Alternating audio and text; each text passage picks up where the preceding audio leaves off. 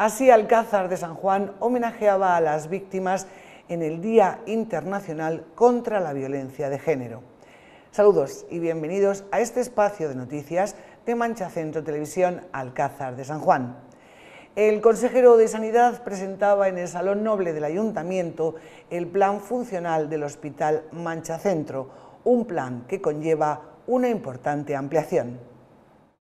El plan funcional del Hospital Alcazareño contempla la ampliación de la superficie de 57.000 a 63.459 metros cuadrados, adecuación de los espacios para mejorar la eficiencia y eficacia, junto a la finalización de la fase que quedó sin terminar en 2012, adaptándola a las necesidades actuales. Este plan funcional se presentaba en el Salón Noble del Ayuntamiento por el consejero de Sanidad, quien destacaba que desde 2015 el Hospital Manchacentro está en continuo crecimiento con mayor cartera de servicios y más profesionales, pasando de tener 61 residentes a 121 en la actualidad y más prestaciones. Ahora nos enfrentamos al futuro. Ahora nos enfrentamos al futuro. Y cuando pues, nos ponemos a pensar en el plan funcional, llevamos dos años trabajando en el plan funcional de Mancha Centro. Cuando nos ponemos a pensar en, el plan funcional, decimos, hay que hacer algo que esa mirada hacia adelante nos lleve a los siguientes 20 años posiblemente. 20 años de cambio en, la, infraestructura que quedó paralizada. En aquel momento la obra que se inició y que se paró en el 2012 estaba planteada en tres fases. Faltó la tercera fase, se hicieron con 30 millones las dos primeras fases y se quedó una tercera fase interrumpida por la decisión de aquel Gobierno. Ahora tenemos que recuperar esa manera de hacer y lo tenemos que hacer desde aquella tercera fase que quedó sin solucionar. Por lo tanto, la presentación del plan funcional tiene tres puntos eh, importantes o tres pilares en los que nos hemos basado para eh, la renovación del plan funcional. Una que tiene que ver con resolver las cosas que estaban dentro de aquella fase y que no se hicieron y que ahora cometemos, otras que formando parte de aquella fase, las hemos puesto en colores, ahora lo veremos para, para que se diferencien, no estaban definidas, pero que nosotros entendemos que tienen que estar, y una última que nunca estuvo en ninguna fase, que nunca ha formado parte de, esta, del plan que había y que empiezan a formar parte en este nuevo plan. Son otro montón de miles de metros que lo que hacen es darle, pues un poco lo que dice aquí, hay que concluir la fase, adecuar los espacios y construir hasta llegar a los casi 63.000 500 metros cuadrados. El responsable de Sanidad del Gobierno regional explicaba también cuáles son las pretensiones de este plan funcional. Se pretende albergar una infraestructura, por supuesto, moderna, pero en sí mismo ya lo es la que tenemos, eh, con la tecnología que en este momento se esté prestando, pero pensando en la tecnología que se puede prestar más adelante y poniendo énfasis en el modelo. Eh, el modelo de sanidad en Castilla-La Mancha va a seguir siendo el que es, siempre que eh, gobernemos de esta manera y nadie piense en cambiarlo, porque eh, los cambios de modelo están definidos. Hay quien apuesta porque la sanidad pública sea el pilar fundamental de la prestación sanitaria y hay quien apuesta porque la sanidad pública forme parte de las maneras de prestar asistencia sanitaria. Digo esto y lo digo de esta manera porque en Castilla-La Mancha somos la comunidad autónoma que más prestación sanitaria pública ofrecemos. El 97,2% de la prestación sanitaria que se hace aquí es pública y solo el otro 3% es con prestación privada. Hay comunidades que esto es 60 pública, 40 privada, y hay comunidades que esto es 70 pública, 30 privada. Y en las comunidades que también es pública nadie alcanza ese 90 y eh, tantos por ciento que nosotros hacemos en prestación pública. Por lo tanto, el modelo seguirá siendo público, con la ayuda de la asistencia privada, que tenga que ser porque nuestra relación con la sanidad privada es correcta, como tiene que ser, como una parte de ayuda, una parte que tenemos que conjugar eh, a veces nuestra tarea con su tarea para que la asistencia a los pacientes sea la adecuada, pero siempre será algo residual. La alcaldesa alcazareña, como anfitriona de la localidad donde se encuentra el Hospital Mancha Centro, echaba la vista atrás. Aquí en La Mancha hemos pasado del siglo XIX al siglo XXI en pleno siglo XX. Yo recuerdo, y quienes nos acompañan, vecinos y vecinas, sobre todo los más mayores, recordarán perfectamente cómo, entre otras cuestiones, eh, nuestros hijos no, no sabíamos dónde iban a nacer, porque un día estaba abierto el hospitalillo, mañana una mujer se ponía de parto y tenía que salir corriendo. ¿Hacia dónde? Hacia otro hospital, coger la carretera. Y del mismo modo, los municipios que había de la provincia de Toledo, los de la provincia de Cuenca, teníamos que salir corriendo para hacer mínimo 100 kilómetros para un asunto tan bonito como es la bienvenida de un niño, pero también para asuntos tan dramáticos como atender un infarto. Y muchas madres llegaban con el niño en brazos, pero muchos vecinos y vecinas de La Mancha no llegaban a su hospital de destino porque estaba lejos, porque estábamos mal atendidos. Era, yo creo, Jesús, Regina, una injusticia social que se había cometido con nosotros, con La Mancha. Un lugar donde en realidad residimos, el 10% de los castellanos manchegos residimos aquí, en esta zona, en aproximadamente unos 60 kilómetros a la redonda de Alcázar de San Juan. Y sin embargo no se tenía en cuenta esa densidad de población hasta que tuvimos, por fin, las competencias sanitarias desde la Junta de Comunidades, con la llegada de la autonomía, y con esas competencias empezó a crecer y a crecer y a crecer nuestro hospital hasta el día de hoy. Melchor celebraba la llegada del hospital y la transformación que supuso también para la economía de la comarca. Hoy, que se cumplen, no hoy exactamente, pero me refiero a este año, se cumplen 28 años de la llegada de nuestro hospital aquí a la comarca del Hospital Mancha Centro. Un hospital en el que trabajan, no sé la cifra exacta, pero aproximadamente unas 2.000 personas, he intentado yo medio calcular, entre los que trabajáis dentro, los que trabajan fuera, el trabajo, el empleo eh, auxiliar que está directamente relacionado con el crecimiento no solo de Alcázar, sino de toda la comarca. Y esa fue una de las primeras cuestiones en la que nos ayudó el Hospital Mancha Centro. De pronto se convirtió en un momento en el que estábamos teniendo muchísimos problemas después de la reconversión industrial de la siderurgia, que a nosotros nos afectó enormemente con la siderurgia y el transporte de viajeros por ferrocarril, y vino a dar respuesta también, no solo sanitaria, como decía antes, sino también económica, a un problema que lo hubiera sido sin el hospital de descenso de población con el crecimiento del desempleo para toda la comarca y también a eso nos ayudó. Orgullosos del Hospital Manchacentro y no solo alcazareños y alcazareñas, seguía diciendo Rosa Melchor, también los habitantes de toda la comarca manchega, representados en el acto por alcaldes y alcaldesas. Por su parte, el gerente del Manchacentro, Lucas Salcedo, señalaba que con el plan funcional, el Hospital Alcazareño dará un salto cualitativo en la atención a los pacientes y en el mejor desarrollo del trabajo de los profesionales sanitarios. El Hospital Manchacentro, cuando se abrió, por ejemplo, solamente tenía 12 servicios clínicos y 570 profesionales. A día de hoy tenemos 42 servicios clínicos y más de 1.700 trabajadores en plantilla orgánica. A eso hay que sumarle todos los trabajadores que tenemos en contrata y en empresas externas. La progresión yo creo que no hace falta explicarla más, está aquí. Entre los años 2004 y 2009, el Gobierno de Castilla-La Mancha invirtió en nuestro centro 30 millones de euros para una ampliación, reforma, se adecuaron espacios, se reformaron estancias. Pasamos de tener 25.000 metros, 25 metros cuadrados asistenciales a 57.000.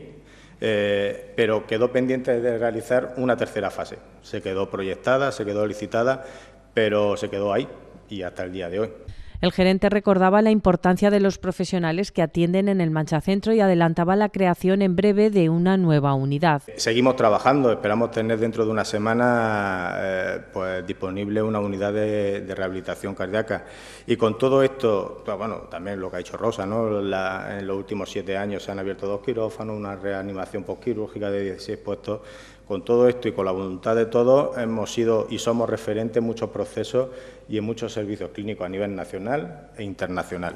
Todos los intervinientes en esta presentación destacaron que era un día importante para Alcázar de San Juan, porque su hospital además tendrá asociada la catalogación de universitario. En su visita a Alcázar de San Juan, el consejero de Sanidad también aprovechaba para celebrar el cuarto aniversario de la residencia comunitaria de García Vaquero.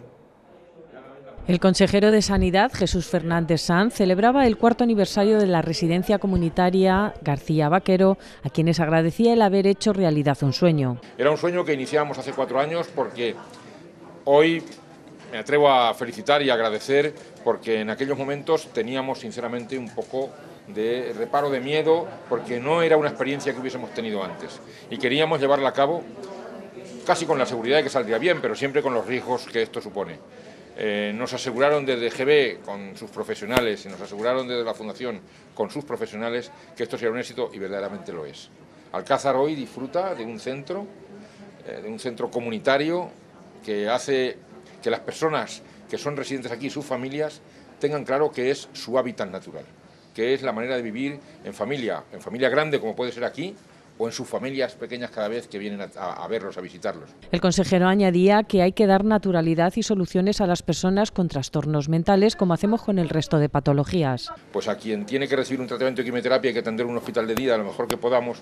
A quien hay que operarlo hay que atenderlo en un quirófano y a quien, a quien tiene, en este caso, un trastorno mental grave hay que atenderlo en un centro sociosanitario como este y con esta calidad y esta calidez. Rosa Melchor, por su parte, repasaba los progresos que la residencia ha hecho desde su creación hace cuatro años. Y hace cuatro años, efectivamente, nació no solo para Alcázar, sino para Castilla-La Mancha, un recurso para atender, para que pudieran efectivamente convertirlo en su hogar y que fuese además el primer paso para seguir avanzando en sus vidas privadas esta residencia comunitaria para personas con enfermedad mental. No solo nació hace cuatro años, sino que hemos sido capaces, como me decía Antonio, de seguir avanzando, de seguir creciendo, de seguir mejorando la atención a esas personas y a sus familias y de poder celebrar este cumpleaños. Yo creo que mm, la política es eso y por eso vuelvo a darte las gracias por segunda vez en esta mañana, Jesús. La política es realmente saber qué es lo que necesitan los ciudadanos, escucharlos, ponerse a la tarea y convertir las ideas en una realidad convertirla en una realidad y esa realidad tiene cara, tiene nombres y apellidos y tiene vidas y son las personas con las que vamos a compartir hoy este cuarto cumpleaños, que son los protagonistas reales de este acto, los residentes de, de esta residencia para personas con enfermedad mental. El director de la residencia comunitaria, Antonio Felizola, agradecía esta celebración. Nuestra alcaldesa han tenido la, amabilidad y el detalle de poder compartir con nosotros este día, por lo cual le estaremos eh, eternamente agradecidos, igual que eh, felicito al equipo que ha hecho posible el trabajo junto con la Fundación Sociosanitaria de Castilla-La Mancha. Aquí está la directora general Maite, que lleva humanización, pero está al frente de la Fundación, junto con el consejero y su directora Susana. Eh, felicitar a todos los residentes por el cuarto aniversario, que sigan siendo más aniversarios y al equipo de trabajo que es fantástico. El acto fue breve pero muy emotivo ya que contó con la participación de los residentes.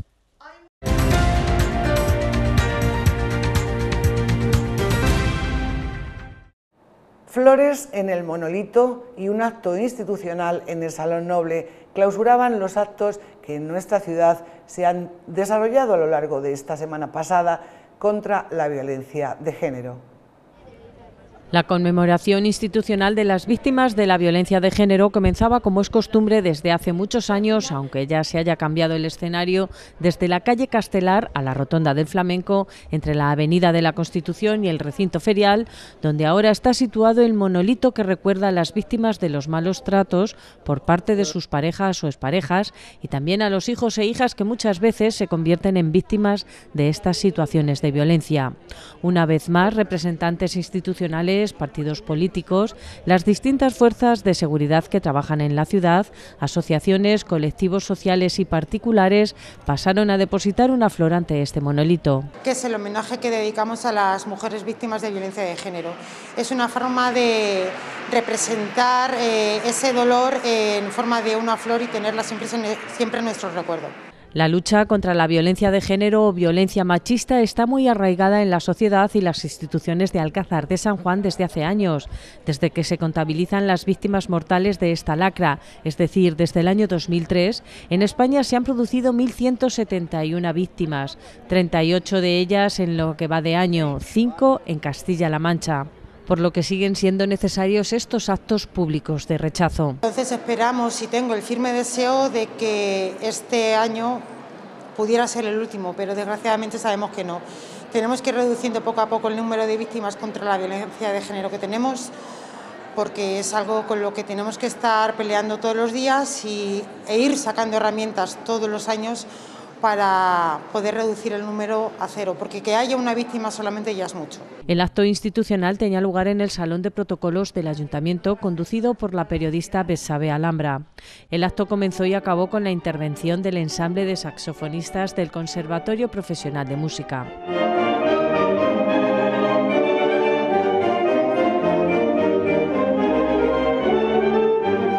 Un cuento sobre una mariposa acompañado por la danza de la escuela de Alma María García fue la aportación de este año del Espacio Saturno, un recurso que opera en el Centro Joven La Covadonga como atención para estudiantes y adolescentes y que lleva colaborando en el acto contra la violencia machista desde 2011, por lo que su coordinador Raúl Ramírez recibió un reconocimiento de manos de la alcaldesa, que intervendría después para agradecer el trabajo de las fuerzas de seguridad y para recordar que la violencia de género no es un asunto privado sin más. Sobre todo las personas más mayores, recordaréis perfectamente ese famoso refrán que decía que entre marido y mujer nadie se debe meter.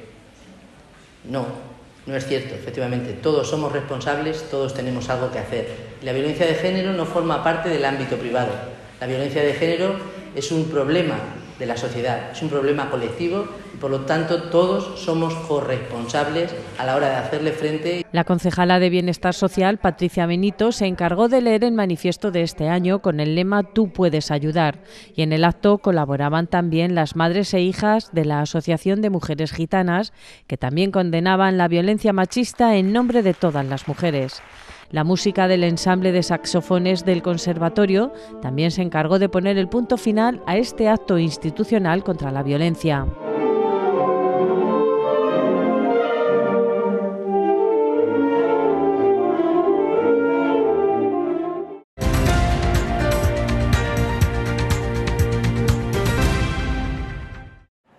El delito de sedición, la ley del sí es sí y las obras de la Plaza de España son las acusaciones del Partido Popular que en esta ocasión han hecho a los medios de comunicación frente a la sede del Partido Socialista en la rondilla Cruz Verde.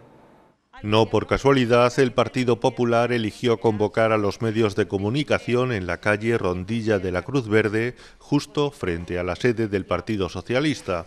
Uno de los asuntos abordados por los populares fue la votación en el Congreso para derogar el delito de sedición, en la que los nueve diputados socialistas de la región votaron a favor. Según el Partido Popular, es culpable todo el partido y especialmente el presidente García Paje por no haber ordenado romper la disciplina de voto. Y lo son también responsables a todos los niveles hasta el último concejal, insisto, del Partido Socialista por permitir y por callar ante este ataque a nuestro Estado de Derecho, a nuestra Constitución y a la integridad de España. No podemos permitirlo. Está ocurriendo unos hechos gravísimos y aquí el Partido Socialista está absolutamente callado. Junto a la diputada provincial y secretaria general del partido en Ciudad Real, la dirección local del Partido Popular también mostró su solidaridad con las víctimas de la violencia de género y también pidió la derogación de la ley conocida como del sí es sí. España está a la vanguardia de la lucha contra esta lacra y hay que lamentar que tras años de consensos y avances lleguemos este año al 25N con un claro retroceso. La rebaja de penas eh, solicitadas por condenados por agredir sexualmente a mujeres e incluso escarcelaciones de delincuentes sexuales tras la entrada en vigor de una ley aprobada sin consenso, de forma soberbia y desoyendo todas las advertencias sobre sus consecuencias. Eh, inmediatamente Sánchez debe eh, directamente derogarla. No tiene sentido, no podemos permitir que ni un solo, ni una sola víctima se sienta atacada con la aprobación de esta ley y que ni un solo violador, ni un solo eh, pise la calle como consecuencia de la aprobación de esta ley. En cuanto a los asuntos puramente locales, el Partido Popular responsabilizó al equipo de gobierno municipal de las roturas y averías estructurales del aparcamiento y pavimento de la Plaza de España. Esas filtraciones de agua dejan un fiel reflejo de cómo es el equipo de gobierno de Rosa Melchor. Un equipo de gobierno que está haciendo aguas. Es un equipo de gobierno que está dejando en evidencia esa falta de previsión pero sobre todo esa evidencia del abandono que tienen en las obras de la Plaza de España, pero también a los autónomos, al emprendimiento y en definitiva a las familias de Alcázar de San Juan. El portavoz aseguró que la primera empresa adjudicataria abandonó la obra por vicios ocultos y señaló que los sobrecostes han aumentado el presupuesto de un millón y medio a dos millones doscientos mil euros y que seguirá creciendo.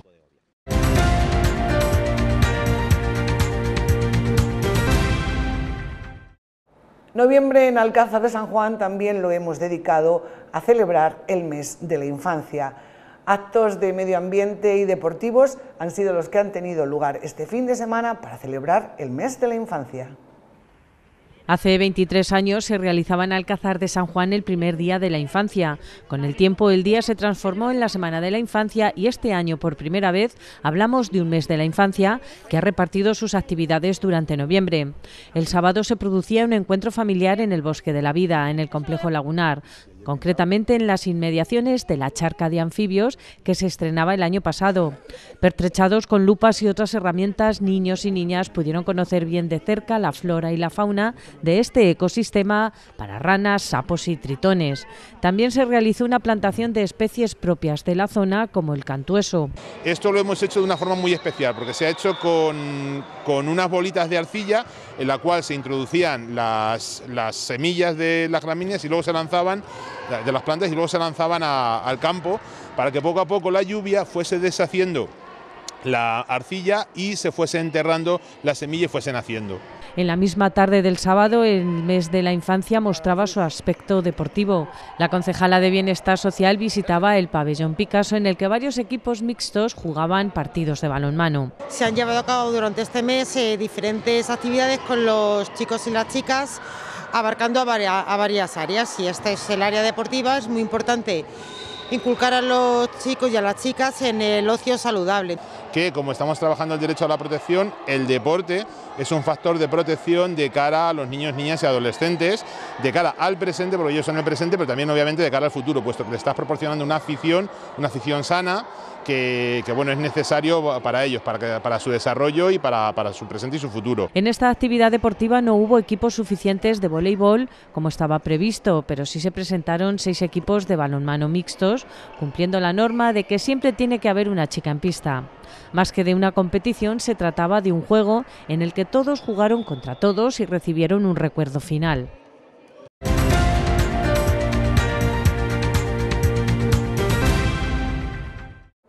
La agrupación musical Santa Cecilia ha celebrado su patrona con un concierto en el Teatro Emilio Gavira.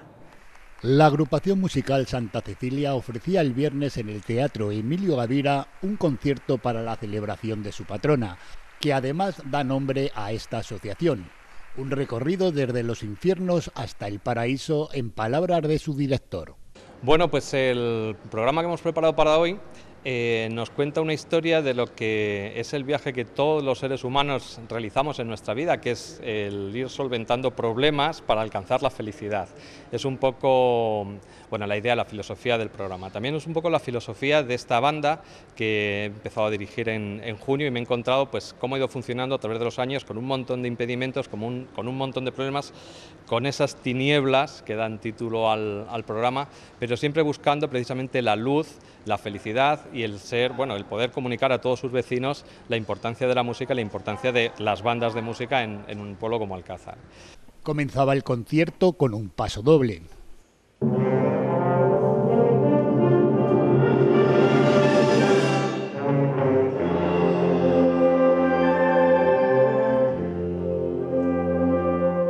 El repertorio que hemos cogido empezamos, bueno, pues en un camino que puede ser tan, tan duro, eh, como el que planteamos, hemos empezado con energía. Hemos escogido un paso doble que se llama Gaudium, que significa alegría, de un compositor que tiene una relación interesante con Alcázar de San Juan, aunque es valenciano, que es Ramón García Soler. Luego vamos a hacer una obra que eh, nos cuenta la historia de una bruja y de cómo la sociedad en el siglo XVI condenaba por cualquier motivo a las mujeres. Se llama Saga Cándida, es de un compositor eh, belga que se llama Vera Permon y terminaremos la primera parte otra vez con Luz, con una obra del compositor americano Eric Whitacre que nos cuenta cómo es la luz, la energía que desprende el niño Jesús. Y la segunda parte, que es la obra más fuerte y más potente del programa, es la Divina Comedia, es la sinfonía número uno de Robert Smith, eh, que lleva el título de Divina Comedia, y que hace un recorrido por las tres partes que nos cuenta Dante Alighieri, pero introduciendo un cuarto movimiento entre el purgatorio y el paraíso que se llama la ascensión. Yo creo que es un recorrido desde los infiernos hasta el paraíso más que interesante. Santa Cecilia es la fecha en la que tradicionalmente se incorporan los nuevos músicos a la agrupación, con un entrañable acto consistente en la recogida de los nuevos integrantes por toda la banda en sus propias casas. Este acto se llevaba a cabo el sábado anterior y era precisamente en el concierto de Santa Cecilia donde se les daba bienvenida oficialmente con la presencia de sus familiares en el concierto más significativo para los músicos. Para los músicos, tanto si somos eh, amateurs como si somos profesionales, es el día clave para un músico. Es el concierto que lo llamamos eh, dentro. Entonces, un concierto siempre mm, con más nivel, más categoría, y son fechas. Mm, yo tan solo he tocado, o sea, me ha faltado un año por tocar por circunstancias, y mm, lo digo francamente, no lloré por. No lo sé, pero lo pasé muy mal ese día.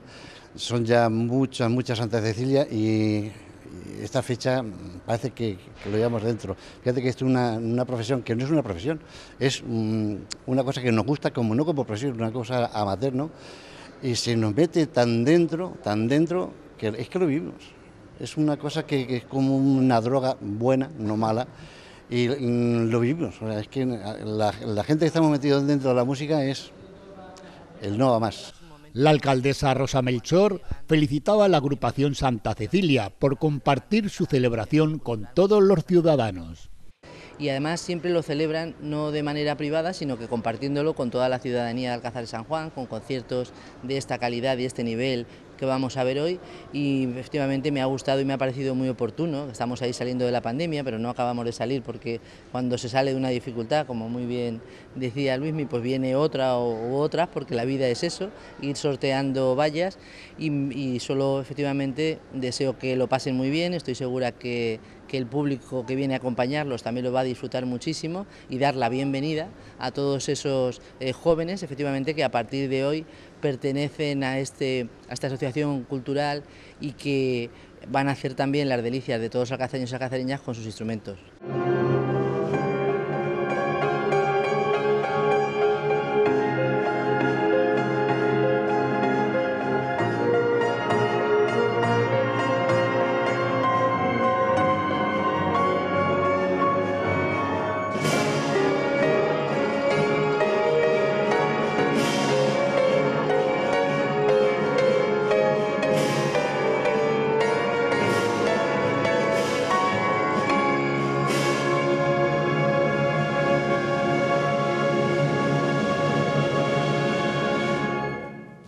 Y hasta aquí la información de Manchacentro Televisión Alcázar de San Juan en este lunes. Ahora les vamos a dejar con la información meteorológica y nuestros deseos de que disfruten del día. Hasta mañana.